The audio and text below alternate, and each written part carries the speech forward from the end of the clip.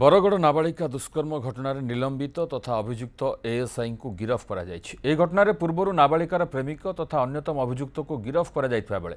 ঘটনার অধিক খোলতাড় চালিছে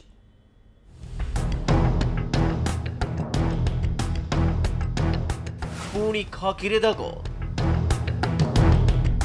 অভিযুক্ত মানুষ বাঁধুবা পুলিশ বাবু এবে নিজে বন্ধা হেলে ତହ ପୁଣି ଝିଅ ଭଳି ନାବାଳିକାକୁ ଦୁଷ୍କର୍ମ ଅଭିଯୋଗରେ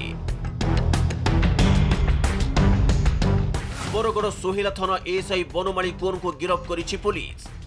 ଅପହୃତ ନାବାଳିକାକୁ ଷ୍ଟାଫ୍ କ୍ୱାର୍ଟରରେ ରଖି ଦୁଷ୍କର୍ମ ଅଭିଯୋଗରେ ଏଏସ୍ଆଇଙ୍କୁ ପୂର୍ବରୁ ନିଲମ୍ବନ କରାଯାଇଥିଲା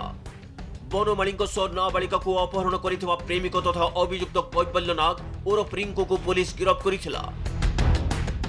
କେସ୍ ହିସାବରେ ସୋଇଲା ପୋଲିସ ଷ୍ଟେସନରେ ଜଣେ ଏଏସ୍ଆଇ ବର୍ଣ୍ଣାଲି କୁମାର ଅଛନ୍ତି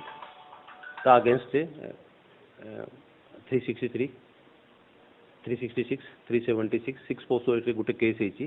ସେଇ ହିସାବରେ ଆମେ ତାଜି ଆଜି କୋର୍ଟ ଚାଲାଣ କରାଯିବ ତାଙ୍କୁ ମୁଁ ସସ୍ପେଣ୍ଡ କରିଦେଇଛି ଡିଏସ୍ପି ଏଚ୍ଆର୍ପିସିକୁ ଆମେ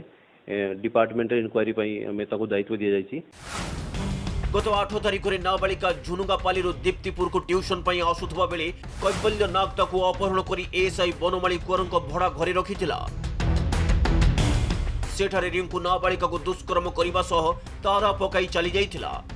ପରେ ଏସ୍ଆଇ ବନମାଳି କୁଅର ନାବାଳିକାକୁ ସୋହେଲା ଥାନା ଷ୍ଟାଫ୍ କ୍ୱାର୍ଟରକୁ ନେଇ ସେଠାରେ ଅସଦାଚରଣ କରିଥିଲେ ଡରରେ ନାବାଳିକା ଜଣକ ମୁହଁ ଖୋଲି ନଥିଲା ନାବାଳିକା ଉଦ୍ଧାର ହେବା ପରେ ଘରେ ସମସ୍ତ ଘଟଣା କହିଥିଲା ପରେ ନାବାଳିକାର ବାପା ରିଙ୍କୁ ଓ ଏଏସ୍ଆଇ ବନମାଳିଙ୍କ ବିରୋଧରେ ଅଭିଯୋଗ କରିଥିଲେ କୋଇଲା ଥାନା ପୁଲିସ ଦୁଇ ଅଭିଯୁକ୍ତଙ୍କୁ ଗିରଫ କରି ଘଟଣାର ତଦନ୍ତ କରୁଛି ପୋଲିସ ବାବୁଙ୍କ ଏଭଳି କାର୍ଯ୍ୟକଳାପକୁ ନେଇ ନାନା ପ୍ରଶ୍ନବାଚୀ ସୃଷ୍ଟି ହୋଇଛି ବରଗଡ଼ରୁ ବ୍ୟୋମକେଶ୍ୱରଙ୍କ ରିପୋର୍ଟ ନ୍ୟୁଜ୍ ସେଭେନ୍